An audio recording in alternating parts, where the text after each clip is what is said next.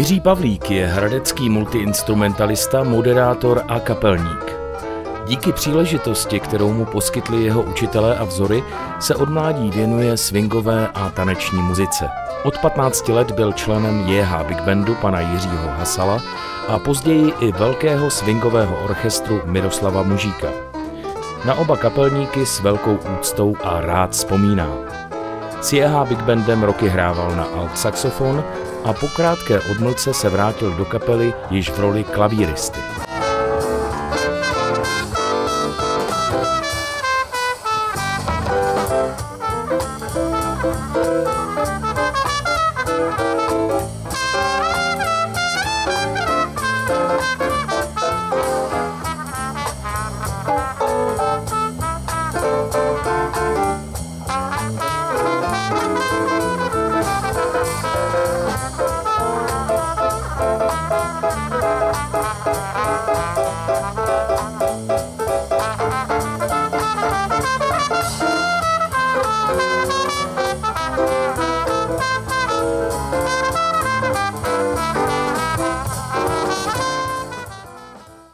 Puzzle Jazz, to je, řeknu to jednoduše, moje velká láska. Eh, Jirka Pavlíku, když jsem ho viděl poprvé v jazz klubu, tak neměli tenkrát basáka, takže levou rukou hrál basu a pravou, pravou no to, to bylo neuvěřitelné. To, to, a jak se umí ponořit do té muziky, to je vidět i na výrazu jeho tváře. Eh, druhý, kterýho budu jmenovat, je Radek Círman. Trumpeťák, jakých je málo, málo. Eh, saxofon. No, Petr Vinklář je šéfem saxofonové sekce a jeho sola v puzzle jazzu jsou, jsou, jsou ohromný, to je pohádka. Eh, basa, jak elektrika, tak kontrabas hraje Martin a řekl bych, že ten kontrabas mu sluší trochu víc. No a bicí, nová mladá krev a kdo slyšel jeho dvouminutové solo, tak už ví své.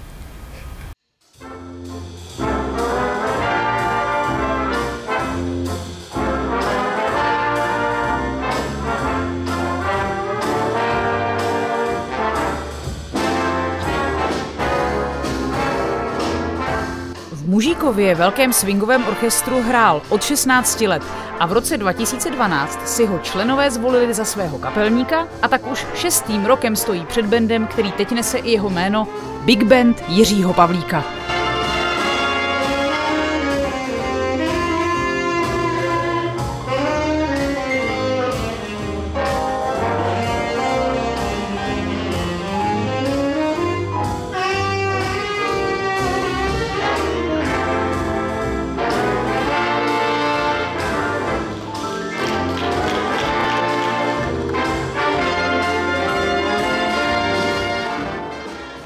Jiří je také spoluzakladatelem spolku hradeckých swingových hudebníků, jehož je momentálně předsedou. Spolek každoročně uděluje mimořádnou cenu osobnost hradeckého swingu. Dámy a pánové,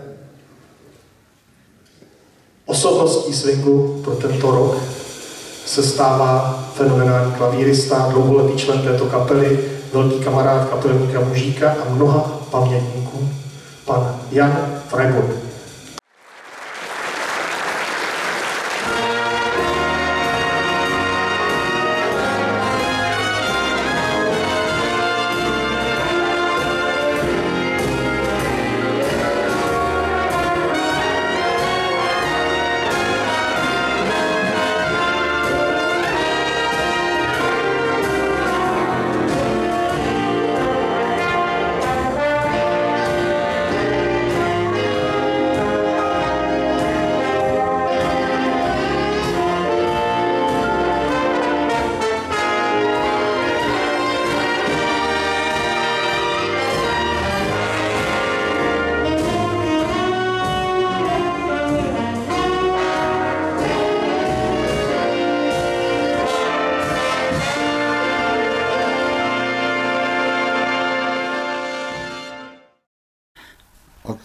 Ty jsi byl ještě nedávno členem kapely Big Bandu Aldis. Prosím tě, řekni mi názor na změny, které se staly. No tak poslední dobou jsem hrozně rád, že kapelu, který jsem hrál představitelných let, se najednou dostala do rukou někoho, kdo se tomu velice věnuje. A byla to kapela, která měla donedávna název Aldis. A jsem rád, hrozně rád, že se to přejmenovalo a že to dostalo konečně ten správný název a že je to konečně Big Band Jiřího Pavlíka. Aby muziky nebylo málo, v roce 1992 založil malou swingovou kapelu Puzzle Jazz, která je složená z některých hráčů big bandu a se kterou, jak říká, si hrají pro radost, pro sebe i pro posluchače.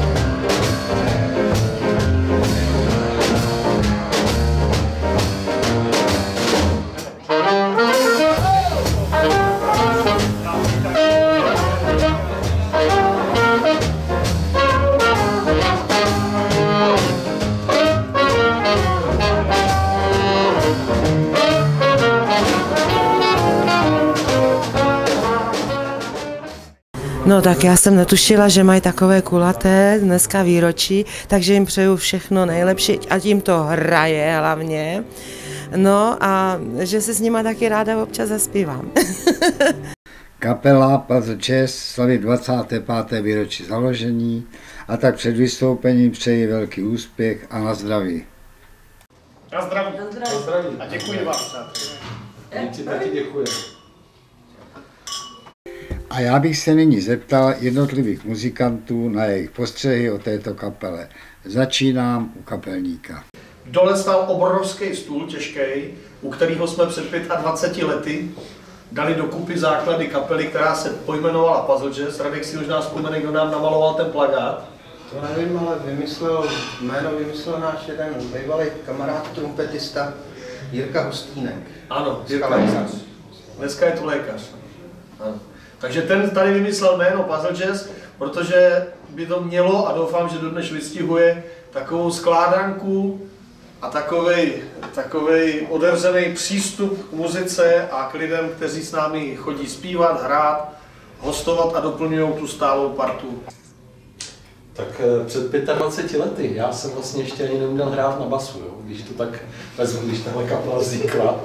A um, samozřejmě vždycky byl uh, můj sen, už od nějaký ty puberty jsem tady pozoroval tu scénu, chodil jsem na ty koncerty a vždycky jsem ty kluky, s kterými teďka mám čest uh, hrát, vždycky jsem je viděl na tom pódiu a, a strašně jsem snil o tom, kdybych si s nimi mohl třeba aspoň jednou zahrát. A e, to se mi teda splnilo, ať už teda v JH Big Bandu, nebo tady v té partě. Já jsem nastoupil před zhruba třemi lety tady do toho rozjetého vlaku, čistě náhodou. Někde jsem se připojil při nějakém koncertě a oni si mě pak už nechali a to mě teda, ne že bych byl jako ješitnej, ale trošku to zahrálo na tu moji ješitnou strunu.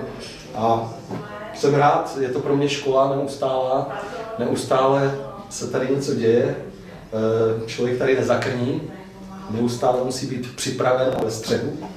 A samozřejmě děkuji kamarádům, že mi tu příležitost dali a že to se mnou v těch začátcích vydrželi. Já, jak říkal Jirka, tak já jsem tady vlastně úplně od samého začátku. A já jsem tady spokojený, mně se tady líbí. A Janička, ta taky není stálá členka, nebo teď už je? Ne, ne, nejsem. Není? Já jsem A teď stálý ale vedle. poslední dobou, poslední dobou se mi vydávám, že velmi často účinkuje s touto Já kapelou. jsem častý host, protože, protože s Jirkou zpívám i v jiných kapelách, takže my spolu spolupracujeme rádi a, a často. A dobře. A protože já jsem jazz nespívala nikdy, vlastně Jirka mě k němu až dovedl, takže já vlastně jen díky němu jsem začala eh, zpívat jazzové písničky, učit se je. A tím jsem se vlastně dostala i sem a můžu zpívat s klukama, je to super, baví mě to. Proto jsem dneska tady. Dobrý. No a máme tady nejmladšího, nejmladšího účinkujícího, nejlepšího, nej, nejmladšího muzikanta. Začnu tím, že před 25 lety, kdy se tato kapela formovala, já jsem byl na světě necelý rok, takže jsem neměl tušení ani o nástroji, na kterém jednou ve svém životě skončím, ani o těchto muzikantech, se kterými mám dnes tu čest a potěšení hrát. Uh, hudební projekt je to pro mě nesmírně přínosný a cenný a obohacující. Tu příležitost jsem moc rád a vážím si hudební projekt uh, jako takový mě naplňuje, protože se nejedná o žádnou stereotypní a monotonní záležitost, která člověka velmi rychle přestane bavit, když ji dělá pravidelně. Takže tohle všechno jsou aspekty, kterých si moc vážím a je to pro mě velkou ctí, výzvou a školou. V podstatě to je taková partička těch, těch jedných z nejbližších jako lidí muzikantsky a je lidsky samozřejmě, se kterými eh, tak nějak, nějak žiju a eh, se kterými je hrozně dobře. To první období puzzle jazzu asi zřejmě, eh, který byl trošku větším obsazení, jsem chytil tak nějak střídavě, nicméně po návratu asi ze zpátky do Hradce po studiích ta kapela dostala trošku jiný, jinou podobu a, a dostal jsem teda možnost s klukama hrát pravidelně a je to samozřejmě takový to jádro, který se prolíná spoustu jinýma kapelama, jako je Stop Time Band, jako je to jsou big bandy a tak dále, takže s těma klukama je prostě hrozně fajn a je mi jedno, co hraje. Já o tom, co říkají muzikanti, nikdy nepochybuju, protože muzikanti, jak nás bylo učeno, jak, nás, jak nás bylo, jak nám bylo vtloukáno do hlavy, jsou citlivé a inteligentní duše i když to někdy tak nevypadá a život jejich a život s nimi je složitý. Ale chci říct jednu věc. Martin Hájek přišel do kapely v velmi složitý situaci, kdy jsme dokonce dva roky hráli bez basy a já jsem basoval sám a Martin svou přítomností mi splnil jeden obrovský sen, že konečně máme v kapele kontrabasistu a to není o tom, že by nebyli, ale není kontrabasista jako kontrabasista, já vždycky ve všech kapelách a všude, kde dělám muziku, tak strašně koukám na to, s jakými lidmi hraju a moc si přeju, aby to byli dobrý lidi a pro mě kamarádi. Abych ze vší té práce a z celého života mohl chodit si za tou muzikou odpočinout a dobít si baterky. A s touhletou partou se mi to daří úplně nejvíc. Jsem velice vděčný a moc rád za to, že mám takovýhle mladý kamarády, protože ty mě dobíjejí úplně perfektně. A je to krásný, že se potkáváme vlastně už ob generaci a nesmírně si toho vážím, že takovýhle kluci za námi jdou a oni nás vždycky posunou dopředu. No a pak mám dvě obrovské ikony, které jsou se mnou od samého začátku, a to je Radek a Petr, který tady teď není, toho si tam dotočíš, prosím. A to jsou moje nejbližší opory a takový spolutvůrci. A hlavně umějí jednu obrovskou věc. Umějí mě korigovat a korigují mě nenásilně a rozumně, už vědí jak na mě. Takže to, co bych Eh, já mohl říkat o kapele, tak to bych nemohl říkat bez nich a bez jejich spoluúčastí a bez jejich celoživotního spoluhraní. Za to jsem vděčný. A k Janě řeknu jenom jediné, ona správně si řekl, poslední dobou poměrně pravidelně a často hostuje s kapelou, a tak k těm 25 nám bych si mohl moc přál, aby se stala stabilní součástí kapely. A přestala hostovat a jezdila s náma zpívat pravidelně.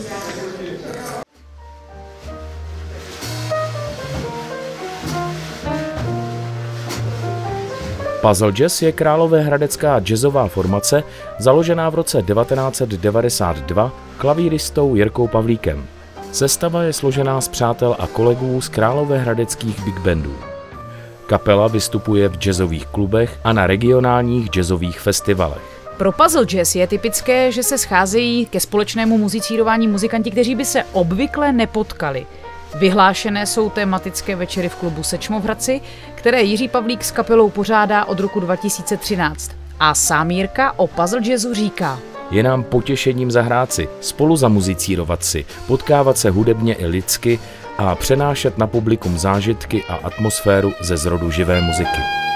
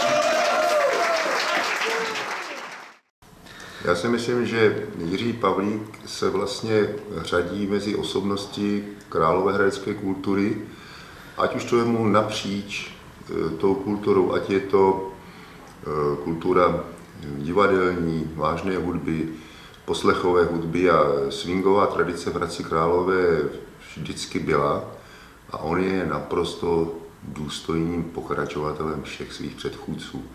Je zapálený do muziky, umí muziku, zná věci, umí oslovit posluchače, což je základní dar proto, když máte svůj orchestr.